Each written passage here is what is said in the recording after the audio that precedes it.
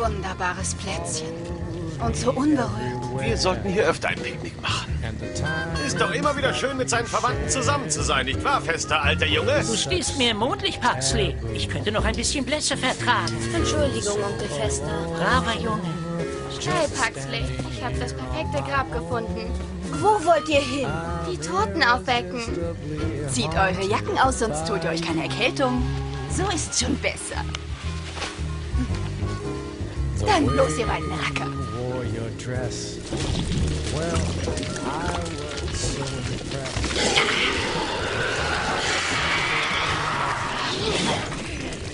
Das Abendessen ist schon fast fertig. Inaftra, Tempori, Indomestase, Norris. Order, Seclorum, Vioradox Dolorum. Dupla. Jetzt.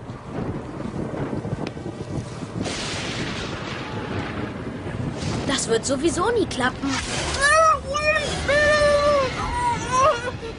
Trinken wir auf den Tod. Auf dass uns niemals etwas trennen möge.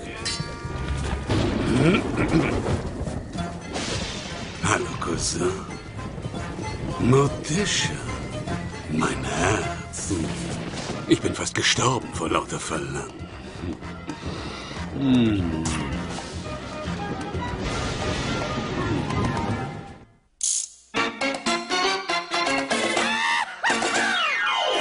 to the Adams Family. The Family? Come into the Family. Cha cha cha. Wonderfully scary and pleasantly hairy. Delightfully very. It's the Family. Welcome to the Adams Family. Go into the Adams Family.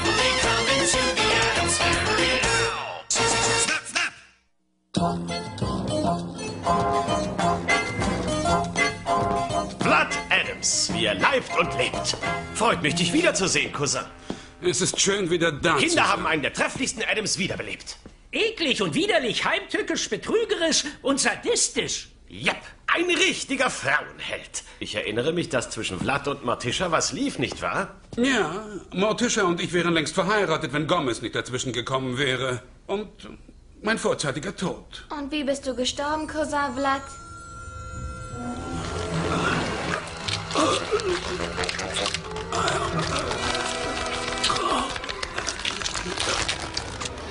Erstickt. An einem Zahnstocher. Und was hast du für Pläne jetzt, wo du von den Toten wieder zurück bist? Ach, ich weiß noch nicht. Ein bisschen reisen, sehen, was es Neues gibt, etwas lesen, Gomez umbringen und dich heiraten. Der gute alte Vlad. Er hat schon immer die besten Witze erzählt. Naja, die Sache mit dem Zahnstocher war natürlich nicht komisch. Huxley, was habe ich dir übers Rumrennen im Haus gesagt? Niemals ohne Schere. Danke, Mutter. Rieche ich da etwa verwestes Fleisch? Ich war 15 Jahre tot, weißt du? Ich meine doch nicht dich. Der Geruch ist unverwechselbar. Mama hat eine Ladung von ihrem Fliegenpilz Arsen. Auflauf fertig.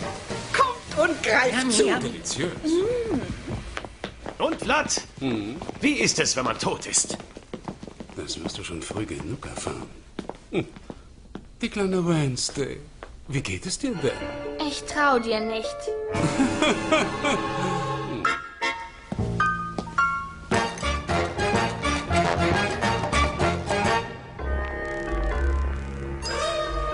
Fühl dich wie zu Hause, Vlad. Genau das habe ich vor. Ich hab dich nie gemocht, Vlad. Ich weiß nicht, was du vorhast, aber ich werd's rausfinden. Ich werde dich beobachten. Und wo immer du gehst und stehst, werde ich da sein. Das werden wir hier sehen. Oder hier. Hier hat sich nicht viel verändert in den letzten 15 Jahren, Gomez. Das Haus ist immer noch exquisit eingerichtet. Morticia sieht immer noch bezaubernd aus. Feste ist nach wie vor ein hohlköpfiger Schwätzer. Und du bist immer noch nicht tot. Noch nicht. Tja, tut mir leid. Man kann eben nicht alles haben. Perfekt. Und jetzt kommt die Krönung von Sianze. Uh, ich vergaß die älteren Mitbürger. Seniorenwohnungen mit versetzten Ebenen. Warum ist mir das nicht eingefallen? Du bist ein kreativer Zerstörer. Geschmeichler. Reden wir doch mal Tacheles. Ich habe das Gefühl, du führst was im Schilde. Ach ja, Hm, als junge Männer haben wir bis aufs Blut um Mortischas Liebe gekämpft. Muss überraschend gewesen sein, von den Toten aufzuerstehen und uns verheiratet zu sehen. zum Wohle. Halb so wild. Ach, ich bin froh, dass du nicht nachtragend bist. Upp, Schwamm drüber. Lassen wir die Vergangenheit ruhen. Ja, lass uns das Kriegsbeil begraben. Vlad? Vladi!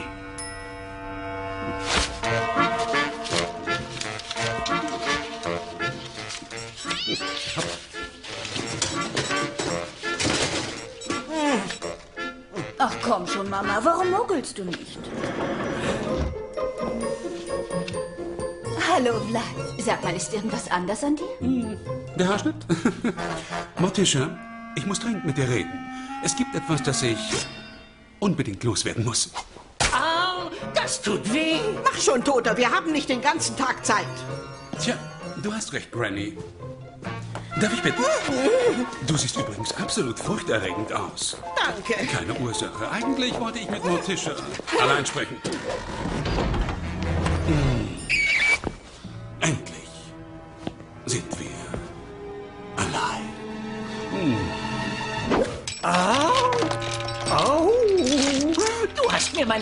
Ausgekugelt. Das tut mördermäßig weh. Ich bin beunruhigt. Was ist los? Cousin Vlad ist ein gemeingefährlicher Verrückter. Ein blutrünstiger Irrer, ein geistesgestörter Psychopath. Vergessen wir mal seine guten Eigenschaften. Er versucht, Vater Wir umzubringen. können nicht untätig mit ansehen, wie ein Familienmitglied in Gefahr schwebt. Du sagst es. Vlad muss verschwinden, koste es, was es wolle.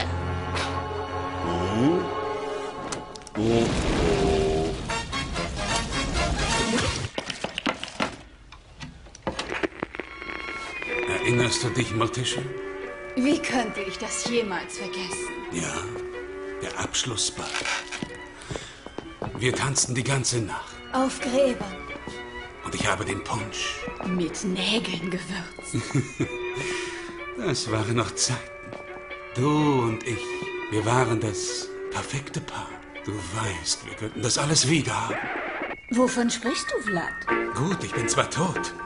Und vielleicht ist mein Fleisch verwest, aber nicht meine Liebe zu dir.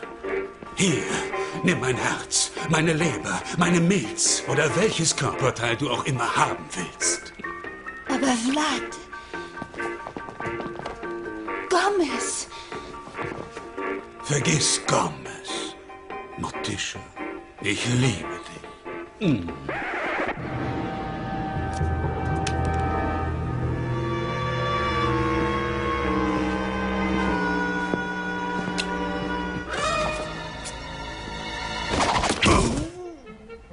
Ich werde so tun, als wäre nichts vorgefallen. Wenn Gomez wüsste, dass sein eigener Cousin ihn betrügt, würde es ihm das Herz brechen. Ja, sie liebt mich.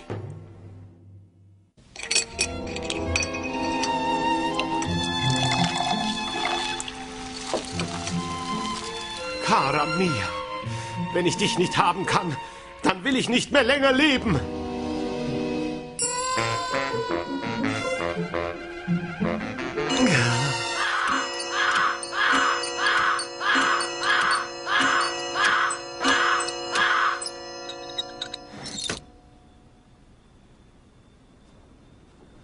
Ich glaube, er kommt. Fertig machen, Onkel Fester. Gut, sag mir einfach wann. Bomben runter.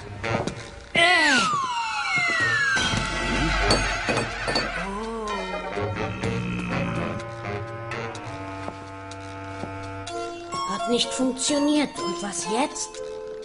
Wenn es beim ersten Mal nicht funktioniert, dann.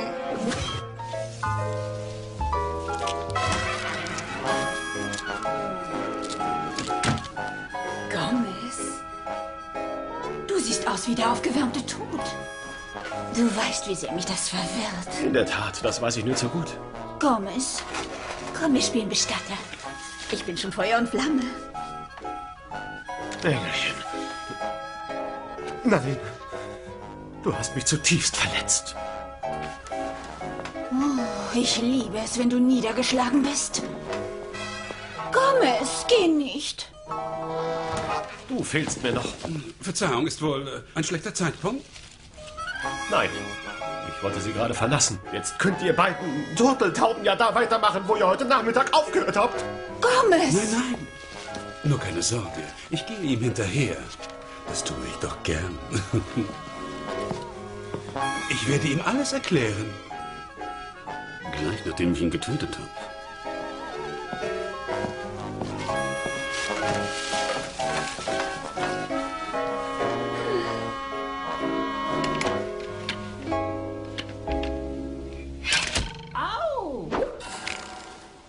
Dich, Paxley. Kommissar Vlad wird jede Minute hier sein. Fertig. Bist du sicher, dass das funktioniert? Todsicher. Wenn Cousin Vlad über den Draht stolpert, steht ihm die Überraschung seines zweiten Lebens bevor. Ich glaube, da kommt jemand.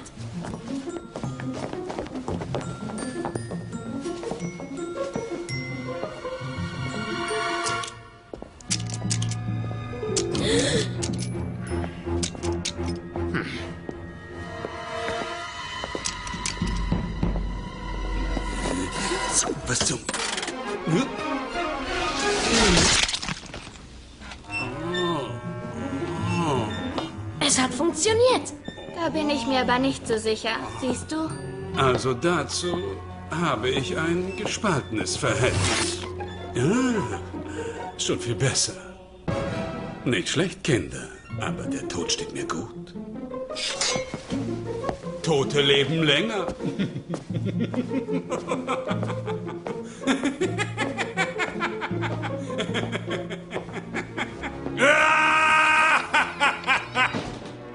Wir haben ein Problem.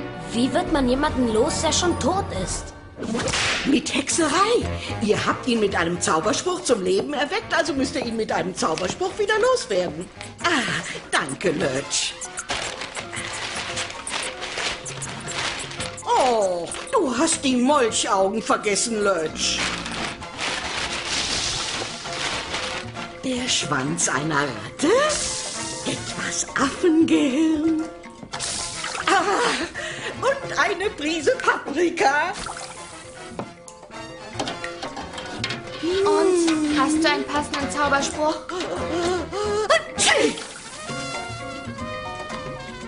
Großmutter? Ähm, Großmama. Richtig, richtig. Cousin Vlad. Ich glaube, ich kenne nur einen Zauberspruch, der hier passt. Ähm, Aber der ist ziemlich lang. Das ist alles ein Spruch? Wiederbelebung ist einfach. Den lebenden Toten wieder loszuwerden. Oh, das ist ziemlich kompliziert. Das erklärt das Phänomen Keith Richard.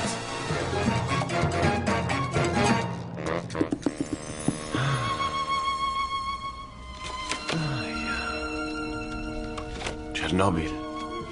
Die Krawalle in L.A. Ach, Händchen. Eiskaltes. Wie werde ich unsere Familienurlaube vermissen? Gomez, pass auf!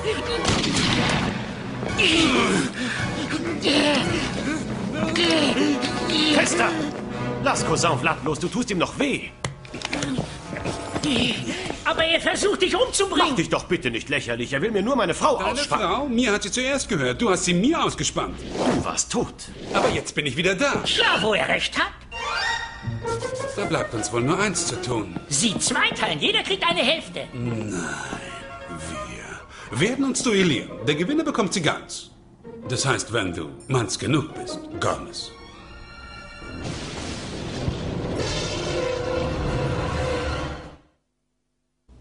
Gentlemen, wählen Sie Ihre Waffen.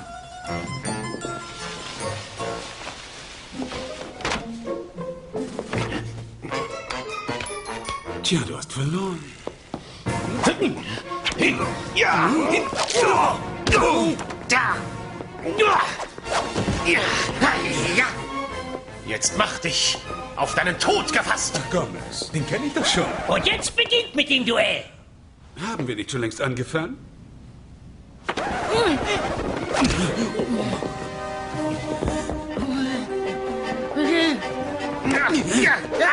Guter Sprung, Gomez. Raffinierte Beinarbeit, Vlad! Tja, was man nicht im Kopf hat!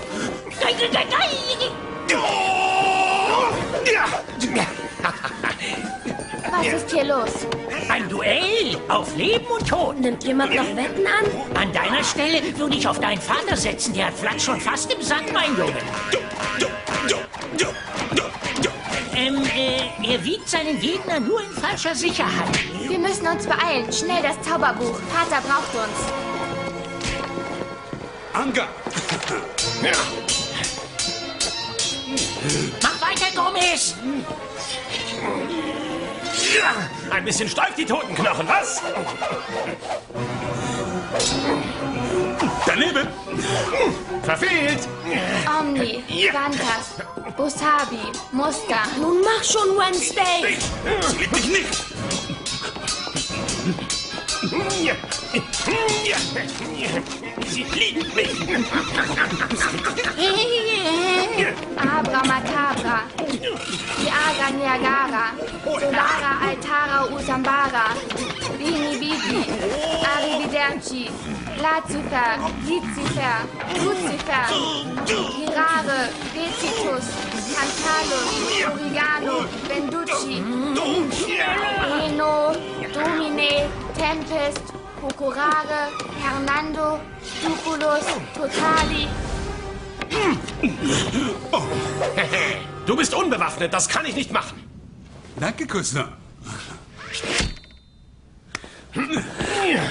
Ich erkläre den Daumenkrieg. Eins, zwei, drei, vier.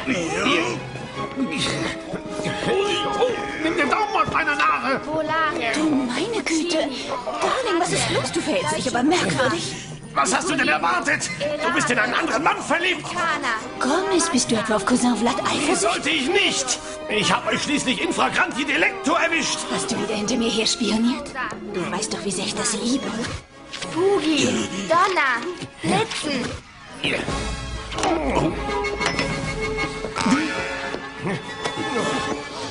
weißt, ich schätze deine gewaltige Leidenschaft, Gomez, aber sie ist überflüssig. Du hast doch mein Herz bereits. Du brauchst nicht mehr darum zu kämpfen. Wirklich?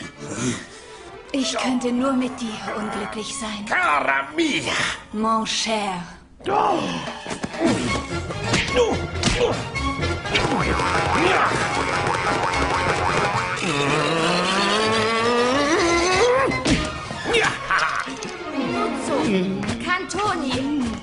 Calzonia, Vanoni, Oh, für dich, meine Liebste.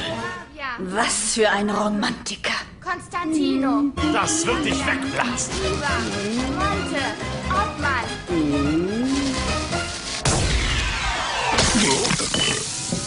Coin, Garibaldi,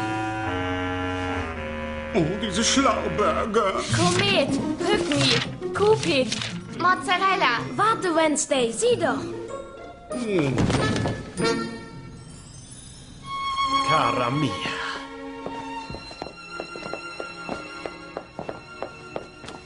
Ich hab gewonnen. So leicht geht ein Toter nicht zu Boden, oh nein. Er lebt! Mach schneller, Wednesday! Ixnay, Itay, Uige. Wow, Wednesday, du hast ihn in ein Häufchen Staub verwandelt.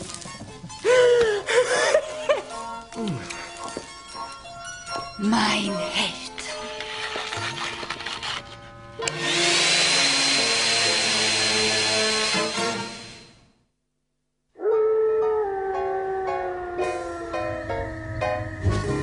The way you wore your dress. Mortisch, mein Engel. Du wächst die Kinder auf. Sie sind todmüde. Oh, ist das alles, was vom Cousin Vlad übrig ist? Kein Toter wird mich je in so einem lächerlichen Kampf besiegen. Ja, du bist wahrlich ein großer Kämpfer. Just standing here on my own. I'm irresistibly. Bist du unglücklich, mein Engel? Oh ja, ja. Vollkommen. Etwas Magenessenz. Ist es schon fertig, Mama? Ist es endlich fertig? Noch oh, die wichtigste Zutat fehlt noch. Danke, Schätzchen. Und rein damit. Das müsste reichen. Es würde ihn freuen, dass wir ihn alle zum Fressen gern haben.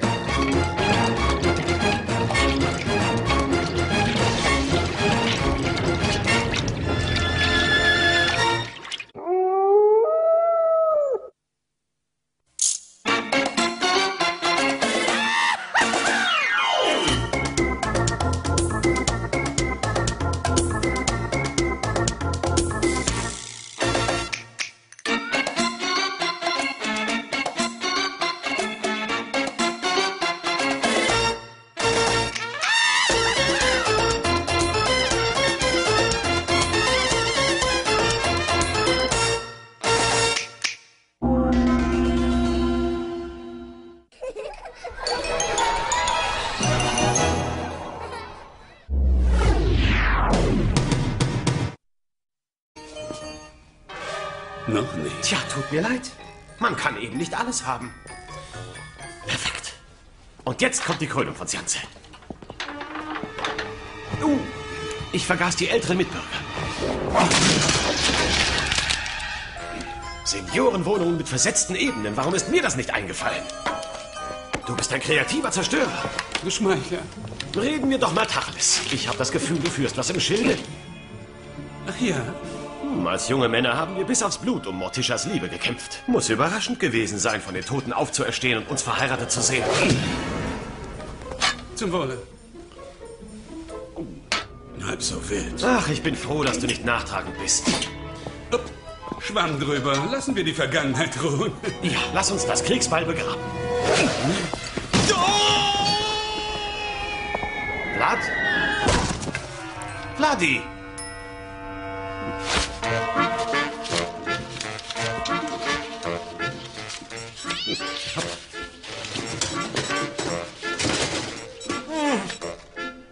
Komm schon, Mama, warum mogelst du nicht? Hallo, Vlad. Sag mal, ist irgendwas anders an dir? Der Haarschnitt? Morticia, ich muss dringend mit dir reden. Es gibt etwas, das ich unbedingt loswerden muss. Au, das tut weh. Mach schon, Toter, wir haben nicht den ganzen Tag Zeit. Tja, du hast recht, Granny. Darf ich bitten? Du siehst übrigens absolut.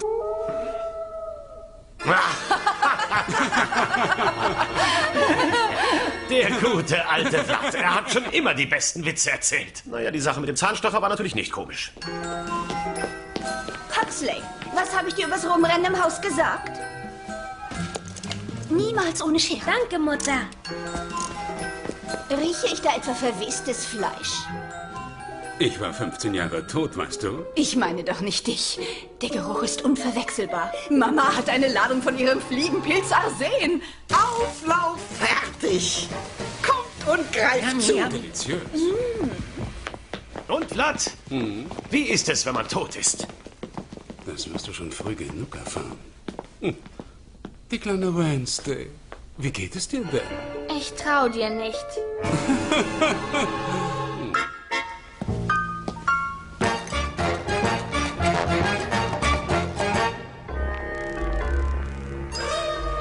Fühl dich wie zu Hause, Vlad. Genau das habe ich vor. Ich hab dich nie gemocht, Vlad. Ich weiß nicht, was du vorhast, aber ich werd's rausfinden. Ich werde dich beobachten. Und wo immer du gehst und stehst, werde ich da sein. Das werden wir hier sehen. Oder hier. Hier hat sich nicht viel verändert in den letzten 15 Jahren, Gomez. Das Haus ist immer noch exquisit eingerichtet. Morticia sieht immer noch bezaubernd aus. Fester ist nach wie vor ein hohlköpfiger Schwätzer. Und du bist immer noch nicht tot. Furchterregend aus. Danke. Keine Ursache. Eigentlich wollte ich mit Morticia allein sprechen. Hm. Endlich sind wir allein. Au! Du hast mir meinen Arm ausgekugelt. Das tut mördermäßig weh.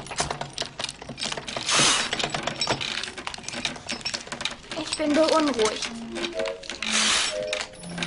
Was ist los? Cousin Vlad ist ein gemeingefährlicher Verrückter. Ein blutrünstiger Irrer, ein geistesgestörter Psychopath. Vergessen wir mal seine guten Eigenschaften. Er versucht, Vater Wir umzubringen. können nicht untätig mit ansehen, wie ein Familienmitglied in Gefahr schwebt.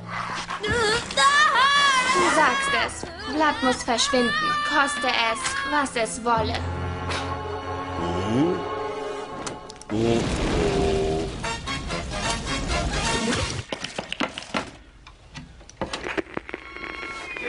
Erinnerst du dich, Morticia? Wie könnte ich das jemals vergessen? Ja, der Abschlussball. Wir tanzten die ganze Nacht Auf Gräbern, und ich habe den Punsch. mit Nägeln gewürzt. Das waren noch Zeiten. Du und ich, wir waren das perfekte Paar. Du weißt, wir könnten das alles wieder haben. Wovon sprichst du, Vlad? Gut, ich bin zwar tot. Und vielleicht ist mein Fleisch verwest, aber nicht meine Liebe zu dir.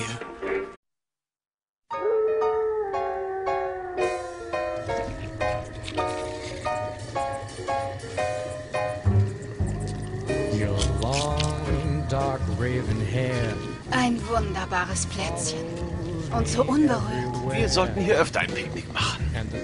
Ist doch immer wieder schön, mit seinen Verwandten zusammen zu sein, nicht wahr, fester alter Junge? Du stehst mir im Mondlicht, Pugsley. Ich könnte noch ein bisschen Blässe vertragen. Entschuldigung, Onkel Fester. Braver Junge. Hey, Paxley, ich habe das perfekte Grab gefunden. Wo wollt ihr hin? Die Toten aufwecken. Zieht eure Jacken aus, sonst tut ihr euch keine Erkältung. So ist schon besser. Dann bloß, ihr beiden Racker.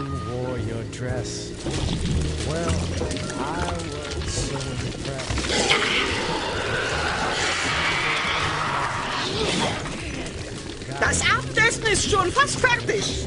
Inaftra, Tempori, Indomestase, Norris. Order, Seclorum, Vioradox Dolorum. Dupla, jetzt.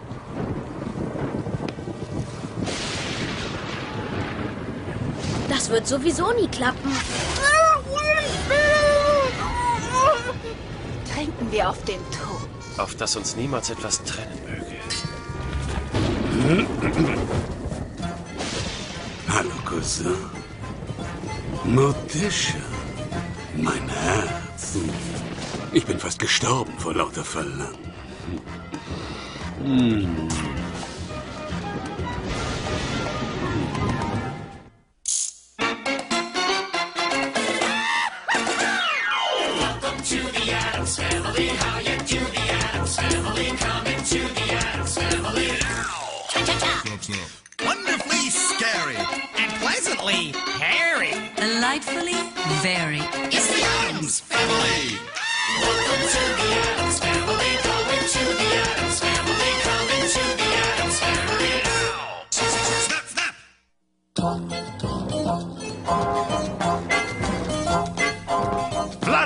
Adams, wie er leibt und lebt.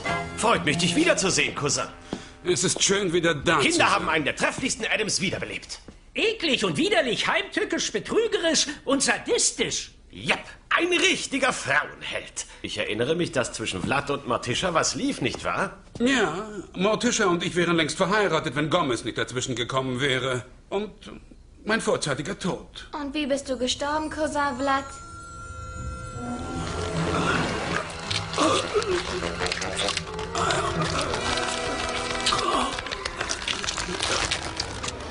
Erstickt an einem Zahnstocher.